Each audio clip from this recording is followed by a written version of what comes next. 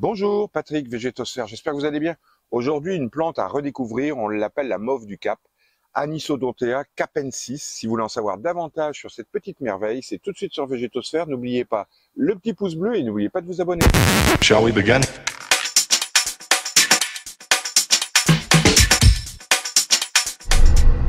L'anisodonte, on dira plutôt la mauve du Cap, c'est plus simple comme ça.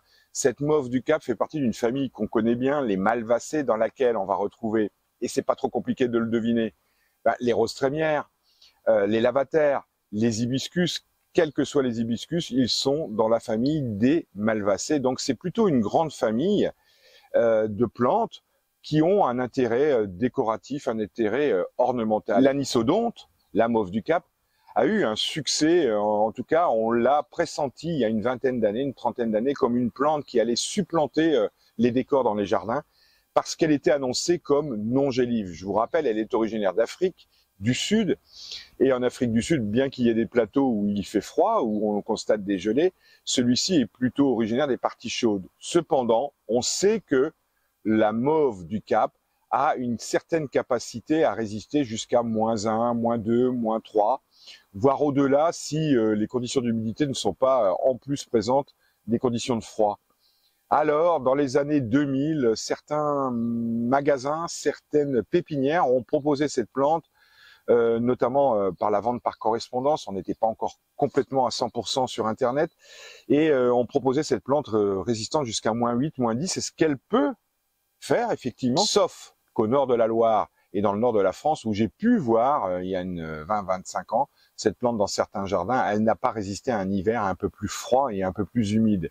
Donc l'anisodonte est bel et bien une plante qui a un intérêt dans nos jardins euh, autour de la Méditerranée et en particulier euh, sur la partie ouest, la partie atlantique, car la douceur hivernale lui permettra de passer allègrement euh, les hivers là-bas. Alors, au niveau de la plante, on va revenir à cette merveilleuse petite plante, romantique à souhait, par des coloris toujours plutôt pâle hein, malgré tout, euh, et très florifère. C'est une plante qui peut mesurer dans son habitat naturel, et si elle est en pleine terre dans des conditions optimales, elle peut mesurer jusqu'à 1m50, 1m80. Presque, presque, je dis bien, la hauteur d'une rose trémière, qui est bien plus haute, ma foi. Alors, euh, l'anisodonte est une plante qui va proposer euh, euh, des floraisons euh, remontantes dès qu'elle est en production chez les horticulteurs. Elle est en fleurs dès le mois de mars-avril et elle va remonter en fleurs jusqu'au mois de septembre-octobre avec une floraison euh, avec trois pétales qui peuvent être de couleur rose, mauve, blanc, euh, des couleurs cramoisies, des couleurs assez romantiques tout, tout, compte fait, hein. et euh, une fleur qui est inodore, une tige qui peut être, qui peut monter, donc je l'ai dit, à 1 m 1 m 20 à 1 m 30 sa capacité à être en pot, que je fais ici en Alsace, nous permet d'avoir de magnifiques petites décorations euh, estivales et très remontantes. Pas besoin, pas nécessaire de nettoyer les fleurs. J'en ai quelques-unes ici qui se sont manifestées. Elles fanent très proprement et grosso modo elles disparaissent. On n'a pas la nécessité de les enlever comme euh, pour certains hibiscus euh, rosa sinensis notamment. Le feuillage est un feuillage persistant, un semi-persistant selon l'endroit où vous allez vous trouver, selon le traitement que vous allez lui réserver pour l'hivernage, car c'est là où, selon les endroits de France où vous allez vous trouver, que le feuillage va rester ou pas. C'est une feuille qui est verte, vert tendre, euh, dufteuse, parfumée. Hein, euh, c'est pas un, parfum extraordinaire, mais quand on froisse les feuilles, on a bien quelque chose qui vient vous chatouiller les narines. Euh, c'est une feuille qui est découpée en cinq, euh, presque cinq lobes. Euh, le fruit euh, peut apparaître quand la fleur est pollinisée et contenir un certain nombre de graines qu'il est possible de ressemer assez facilement. En ce qui concerne l'histoire, la découverte et l'étymologie, spécifiquement sur la mauve du Cap, on n'aura pas grand-chose. Par contre, il y a une littérature particulièrement abondante sur sa cousine qui est indigène ici en Europe, en France, que l'on appelle la Malva sylvestris, la mauve sylvestre. C'est une plante particulièrement importante dans la pharmacopée euh, européenne et ça date des Grecs. Pythagore et Hippocrate utilisaient cette plante, euh, en tout cas la mauve sylvestre, euh, pour des vertus laxatives. On sait que les Romains appelaient cette plante omnimorbia. Un peu plus loin dans l'histoire, Charlemagne a obligé les moines à utiliser cette plante, à planter la mauve sylvestre dans les, les carrés des saints parce que les vertus médicinales était tellement importante qu'elle était incontournable. C'était une plante qui soignait très clairement. Cela était valable pour la mauve sylvestre où on dispose d'énormément d'écrits et c'est moins le cas pour Anisodontea dont l'origine est africaine, je vous le rappelle. En ce qui concerne la culture de la l'Anisodontea capensis, c'est une plante qui va euh, s'acheter vers le mois de février-mars chez tous les horticulteurs qui vont vous la proposer. Euh, c'est une plante assez facile. Au sud, et euh, du, côté de l'Atlantique jusqu'en Bretagne, Normandie, c'est une plante qu'on va pouvoir mettre dans les jardins, la planter et essayer de la garder, car quand les hivers sont relativement doux, ce qui est souvent le cas, la plante perdra plus ou moins son feuillage, mais repartira chaque printemps, euh, à l'image d'un hibiscus moschetos, par exemple, dont nous avions déjà parlé. Pour toutes les autres régions un peu plus froides, au nord de la Loire, euh, en altitude, euh, en Alsace comme ici. C'est une plante que je vais pratiquer en pot, que je vais garder en pot très facilement. Alors, le fait euh, de garder ses feuilles ou pas, cela va dépendre de l'endroit où vous allez l'hiverner. Il faut pour l'hiverner la mettre euh, à des températures supérieures à 0 degré, on est bien d'accord. Elle tient à 4, 5, 8, 10, 12 degrés sans problème. Et c'est alors à ces températures qu'elle va garder son feuillage avec plus ou moins de vigueur, parfois même une floraison qui va Si vous l'hivernez euh, dans des conditions moins lumineuses et un peu plus fraîches, le feuillage va tomber, ce qui n'est pas grave en soi.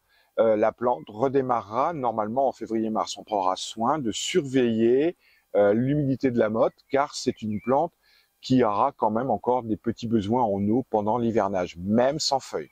On la laisse pas sécher totalement. Pour être tout à fait complet avec la culture de cette plante, j'ai déjà pu observer de l'anisodonte à l'année, présente un peu comme un, un hibiscus rosacinensis, à l'année présente dans une maison. Euh, ça s'étiole rapidement, elle cherche beaucoup de lumière. La véranda semblerait être le meilleur endroit car pour le reste de la maison, c'est une plante qui va être très difficile de garder. En ce qui concerne la multiplication, c'est très simple. Euh, si vous avez la possibilité de récolter des graines, ça, ça pousse très, très facilement, ça lève très facilement, ça se repique très facilement. Et en ce qui concerne le bouturage, en juillet-août, le mois, les mois des boutures, Rien de plus simple que de prélever quelques boutures, euh, comme pour un abutilon. Ça s'enracine avec un bonheur absolu et rapidement, et vous disposerez d'un certain nombre de plantes à donner, à distribuer à vos amis et à votre famille très facilement. Donc, euh, semi-bouture, très très très très facile avec la mauve du Cap. Soins, fertilisation, arrosage. La fertilisation euh, est importante. Vous pouvez apporter un engrais géranium, rien de tel que ça, bio ou pas, et vous allez encore augmenter cette floraison qui est déjà relativement abondante. En ce qui concerne les arrosages, plutôt facile, des arrosages qui vont être réguliers sans être copieux. D'ailleurs, elle a une certaine capacité à résister à des manques d'eau passagers. Ici, la motte est particulièrement euh, sèche euh, et la plante ne manifeste pas euh, un assouplissement de ses feuilles et de ses tiges qui prouve qu'elle réclame de l'eau. Donc là, euh, elle a soif clairement, mais elle ne le dit pas. Elle résiste. La taille est possible, surtout à la sortie de l'hiver. Elle permettra une ramification plus importante. Et quand on voit le nombre de boutons qui apparaissent sur la tige, euh, nul besoin de vous rappeler que la floraison va être maximale. Au niveau des parasites, on peut rencontrer du puceron. J'ai cru en voir quelques-uns là, euh, mais je ne vais pas intervenir. Je pense que les petites larves de coccinelle vont faire le travail. C'est surtout pendant l'hivernage, pour ceux qui se trouvent au nord de la Loire, quand on va la rentrer dans une serre froide ou dans une véranda, que les pucerons vont vraiment proliférer. Méfions-nous des alrodes, ces mouches blanches qui vont euh, attaquer en fin d'été cette plante. En ce qui concerne les maladies cryptogamiques, les excès d'eau peuvent engendrer des pourritures. On prendra soin de ne pas trop apporter d'eau et la plante est plutôt résistante au niveau cryptogamique. Si vous voulez en savoir davantage sur cette plante, rejoignez la description. Il y a notamment euh, les variétés que j'ai indiquées et certainement euh, des soins des particularités de cette plante que je n'ai pas décrites dans cette vidéo, qui sont notées dans la description, assez fouillées. Je vous dis à très bientôt sur Végétosphère, je vous salue, au revoir. Shall we begin?